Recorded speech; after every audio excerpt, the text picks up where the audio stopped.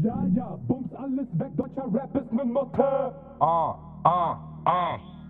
Ja, ja, ich fick Nutten weg aus dem Stripclub-Geschäft. Tick Koks und Pep vor Kreditos versteckt die in Immobilien ermitteln ohne Erfolg, weil ich Ingo Tier kenn. Hals, Maul. Und such an Ostern paar Eier, während ich mit Pflanzen mein Großhandel treibt. Ah, krieg Peace und Taste aus Herlen nach Haus, dessen Kilo Packs ich vorher in Airbags verbau. Patensohn. Ich häng draußen ab und bums Mädels, du welche, die von außen starken Jungs ähneln.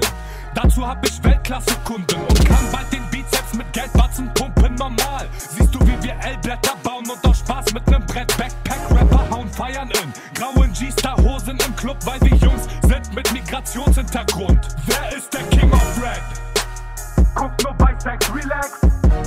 Kopfnicken kostet Geld. Normal, nur 228. die SIM-Karte raus? Wer ist SSIO? Ja, ja, bums alles weg, deutscher Rap ist ne Motto.